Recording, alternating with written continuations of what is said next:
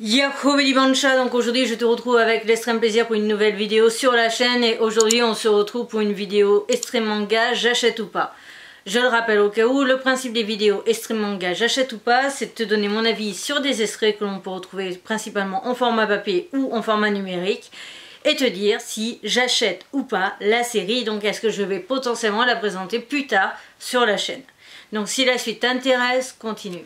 On commence donc cette vidéo manga j'achète ou pas avec l'extrait des éditions Kiun qui est The Bugle Call ou le clairon. En gros, c'est l'instrument qu'a euh, la personne sur la couverture dans les mains. Donc, transcender le fracas, transcender le fracas des armes, décider du sort de la bataille. Donc, dans ce titre, on suit les aventures d'un personnage du nom de Luca, qui est orphelin, et on va très vite comprendre qu'elle a été recueillie par une équipe euh, de soldats, une équipe de soldats qui va du coup l'utiliser comme clairon, donc en fait les sons euh, qu'il émet pendant un combat indiquent en fait aux soldats ce qu'ils doivent faire. Et euh, on comprend très vite qu'il essaye de devenir libre parce que tout simplement là il est sous une espèce de contrat avec les personnes qui l'ont recueilli, et bien entendu nourri, élevé, etc. Donc il a une dette et euh, son but c'est de rendre sa dette, de rembourser sa dette et de pouvoir partir tout seul pour pouvoir apprendre un peu plus la musique et devenir un musicien professionnel. Donc ça c'est son grand rêve. Mais on découvre très vite aussi que ce jeune homme, Luca, a euh, une sorte de petite branche qui sort de sa tête, une branche de bois. C'est pas une corne, c'est pas une oreille comme mes oreilles de panda, c'est vraiment une branche de bois, un tout petit bout de bois. Et on va assez vite découvrir du coup que ce morceau de bois qui sort de sa tête lui donne des pouvoirs. Donc au tout début, on va comprendre qu'il arrive à lire les partitions parce qu'elles euh, sont visualisées pour lui. Donc on voit une image où on voit justement qu'il sonne avec son instrument et on va voir du coup les, partitions plus ou moins dessinées devant lui et on va euh, rencontrer en plein milieu du coup quasiment de, de l'extrait qu'il y a d'autres personnes un peu comme lui qui ont aussi des pouvoirs magiques etc et c'est ça que l'on va suivre du coup dans cet extrait. Pour ce qui est de l'extrait, je dois t'avouer qu'il était quand même plutôt fat. Je crois que j'ai vu sur internet qu'il y avait 93 pages. Je ne pense pas qu'il y ait 80 pages ici. Donc peut-être que le format papier est légèrement plus petit. Mais en tout cas, on a quand même un bon format pour pouvoir se juger et savoir ce qu'on doit penser. Parce que très clairement, on n'aurait pas eu la, la bataille où on rencontre du coup dans le clan adverse des personnes qui ont les mêmes pouvoirs que Luca bah, très clairement, ça n'aurait pas forcément réussi à attirer ma curiosité, alors que d'avoir mis le combat fait que j'ai envie d'en savoir plus, j'ai envie de découvrir ce qui va se passer, et j'ai envie de découvrir du coup quelles sont ces personnes qui ont des pouvoirs similaires à Luca, et qu'est-ce que c'est en fait ce pouvoir, et qu'est-ce qui fait que Luca est donc différent des autres. Donc, est-ce que j'achète ou pas? La réponse est oui, ça va faire mal. C'est un manga d'Halloween, donc on va attendre un petit peu. Je te mets à côté de moi parce que moi je n'ai les informations. Donc si le tome 1 sera sorti le 7 mars. Euh, genre Seinen, prix 7,95€, mais je n'ai pas le nombre de tomes. Donc je te mets les informations à côté de moi pour que toi tu puisses voir du coup le nombre de tomes qu'il y a actuellement, etc. Et euh, du coup, ben moi je vais attendre sagement, vraiment, septembre, octobre seulement pour m'y intéresser, à part si je trouve vraiment une occasion autre. Mais vraiment je vais attendre pour acheter parce que comme tu le sais, j'essaye d'abord de vider ma palle. Mais il m'intéresse vraiment, vraiment, vraiment et il a su captiver mon attention. Ensuite, on a ensuite on continue avec nos longeurs All Wed in Another World, si je prononce bien, parce qu'on n'oublie pas que je suis une bille en anglais. Voilà. Donc c'est chez les éditions Cana dans leur collection Big Cana. Et est-ce qu'on a des informations juste le 8 mars en librairie? Bon bah une fois de plus, voilà, il sera déjà sorti, c'est bien ce que... Si potentiellement tu as loupé l'info, voilà, mais je suis désolée.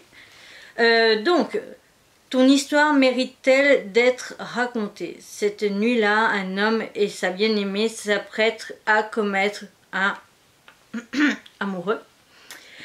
Mais au moment de passer à l'acte, un camion surgit de nulle part. C'est alors que l'homme écrivain de métier commence une aventure extraordinaire. Transporté dans un monde afin de devenir un héros, il va à l'encontre de toutes les règles Oui, non.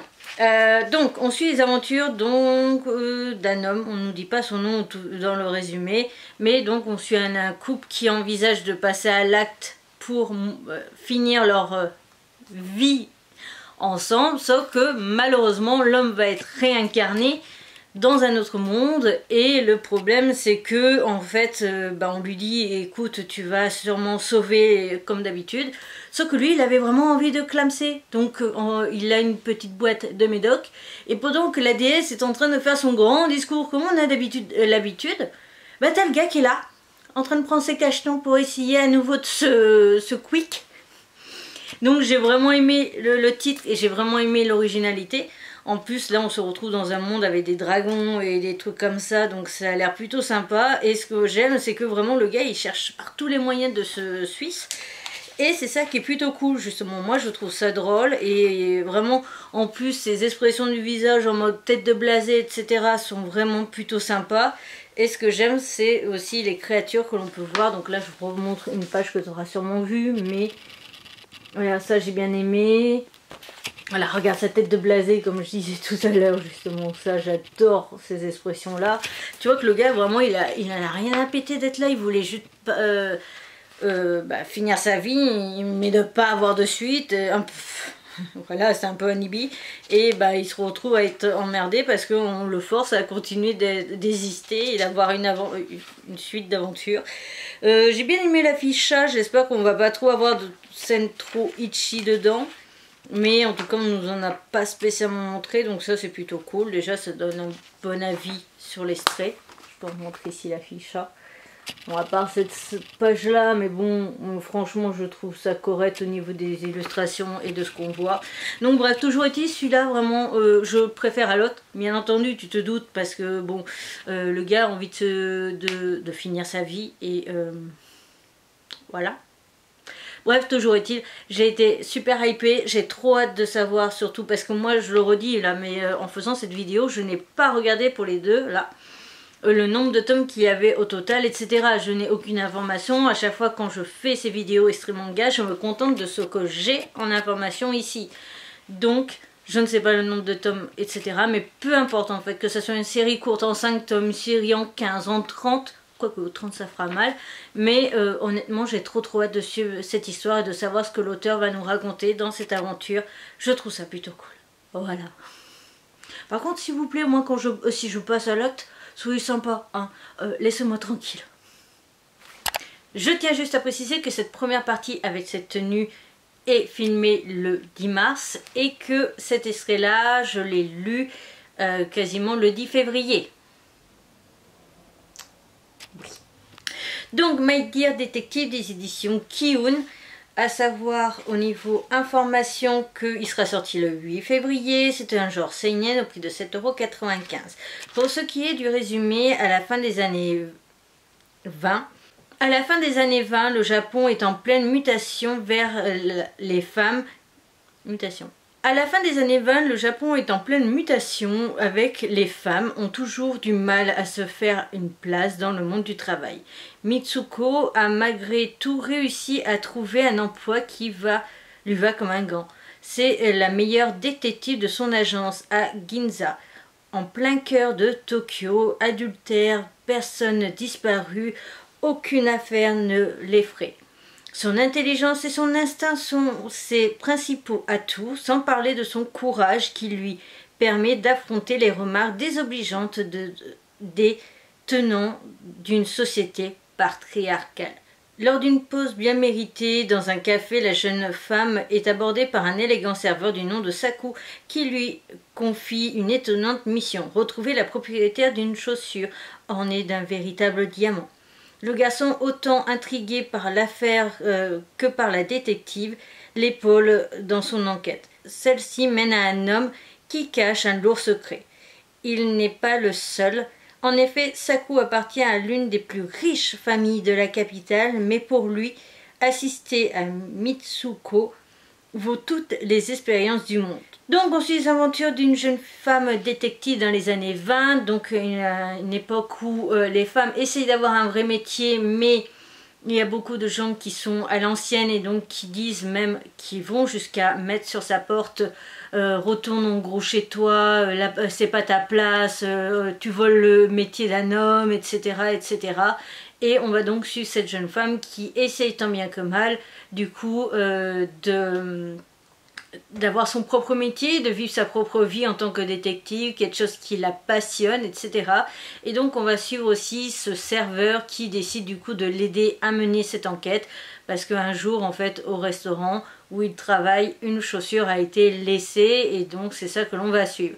Personnellement, bien que j'adore le fait de lire des mangas avec des femmes fortes, des femmes de caractère, d'ailleurs on a la pub pour Isabella Bird derrière, je n'ai absolument pas accroché à la série ni à l'histoire et à ce qui s'y passait.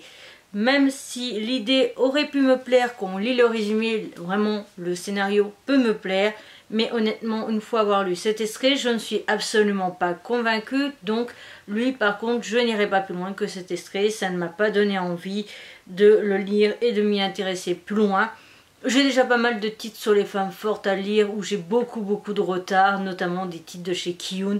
Donc je ne vais pas m'encombrer d'un manga de plus. Ça ne me dérange absolument pas. Et euh, donc bah, j'espère que certains, ça aura pu potentiellement vous donner envie ou potentiellement aussi vous éviter un achat. Personnellement j'ai eu du mal un petit peu sur certains points. Euh, par rapport à l'histoire, la relation entre les personnages, etc. Ce côté un petit peu particulier de justement de l'époque où elle cherche à avoir un travail mais en même temps les autres femmes lui tirent dans les pattes etc je ne serais pas vraiment expliqué d'ailleurs ça fait quand même un mois que je l'ai lu donc euh, bon voilà. Mais je ne serais pas vraiment expliqué le, pourquoi du comment. Mais euh, je n'ai tout simplement pas accroché à cette série